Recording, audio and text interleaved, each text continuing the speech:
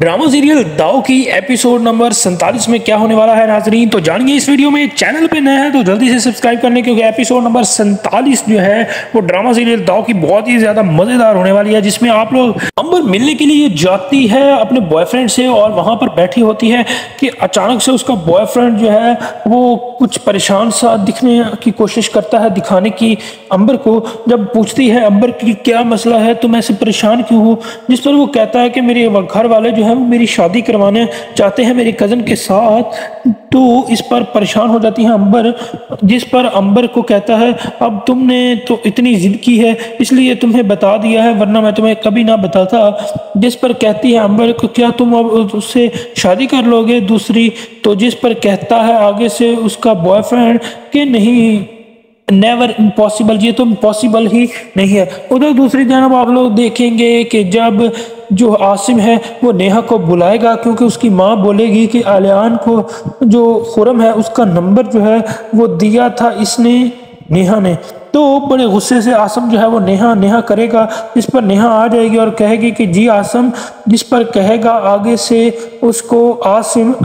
कि अलियान को खुरम का नंबर तुमने दिया था तो जिस पर वो कहेगी कि नहीं, मैंने तो सिर्फ़ सुबल को दिया था, पता नहीं उसके पास कैसे आ गया। यानी कि कर देगी साफ़ इनकार कि मैंने तो उसको कोई भी नंबर नहीं दिया। उधर आप लोग देखेंगे कि जहाँ पार्लर में लड़कियाँ कर रही होती हैं काम और वो अलमास की कस्टमर भगाने की करती हैं कोशिश और वो कहती हैं, आपस में बात करती हैं और एक लड़की दूसरी हानिया को बोलती है कि हानिया वैसे कितनी गलत बात है ना कि मैम जो है वो इम्पोर्टेंट प्रोडक्ट्स का कहकर जो है वो आम लोकल प्रोडक्ट्स यूज़ करती हैं, जिस पर जो है वो खातन जो कि वहाँ पर फेशियल करवा रही होती हैं, वो गौर से देखती हैं कि हैं अलमास लोकल प्रोडक्ट्स यूज़ करती हैं और वो कस्टमर जो है वो ख़राब कर देती हैं अलमास के और उनको कहती हैं कि हम जो है, हम ठीक प्रोडक्ट यूज़ करते हैं, आप हमारे पास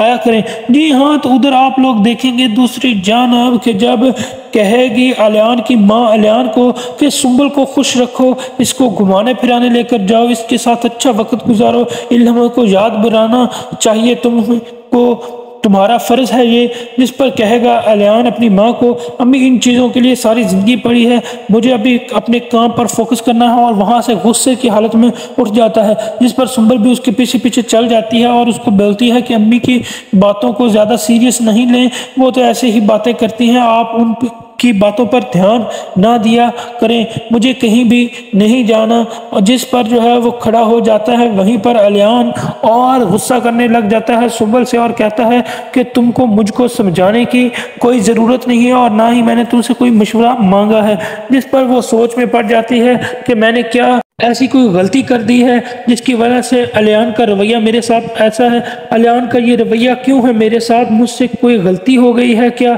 और अपनी गलतियों पर नज़र दौड़ाती है और कहती है कि मैंने ऐसा कुछ किया तो नहीं है। उधर आप लोग देखेंगे कि जब बैठी होंगी,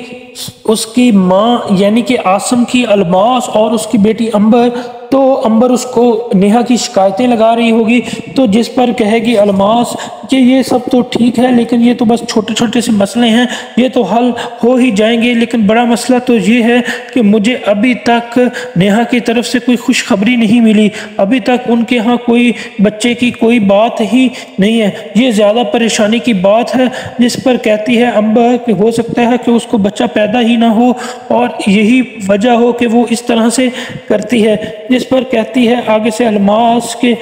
मुझे ज़्यादा परेशानी इसी बात की है कि इतना अरसा शादी को हो गया, लेकिन अभी तक कोई जो है वो खुशखबरी नहीं मिली। उधर आप लोग देखेंगे कि जब लेकर जा रहा होता है, अलियान सुम्बल को अपने साथ गाड़ी में तो ये सोच रहा होता है कि मैं इसको एक बार नहीं, बल्कि दिन दिन मारूँगा और सुम्बल को जो है वो ऐसा करने पर मजबूर करूँगा, दूँगा कि वो अपनी माँ को ये बताए कि किस अजियत में वो है और उसकी माँ जो है वो खून के आँसू रोएगी। ये जान कर के मैंने किस तरह से अजियत में रखा हुआ है सुम्बल को। उधर आप लोग देखेंगे कि जब गाड़ी में बैठी होती है तो जान बूझ कर उसका हाथ देख कर जो है वो अलियान ज़ोर से गाड़ी का दरवाज़ा बंद करता है, जिससे जो है सुम्बल उसको बहुत ज़्यादा दर्द होती है, क्योंकि दरवाज़ा जो है वो गाड़ी का उसके हाथ को लगता है। आपको क्या लगता है नाजरीन कि क्या सुम्बल की तकलीफ़ें अलियान जो है वो अलियान को सुम्बल की तकलीफ़ों पर रहम आ जाएगा, और क्या सुम्बल की अच्छाई जो है वो अलियान को जो है वो गलत रास्ते से रोक पाएगी या नहीं, कमेंट में ज़रूर बताइएगा।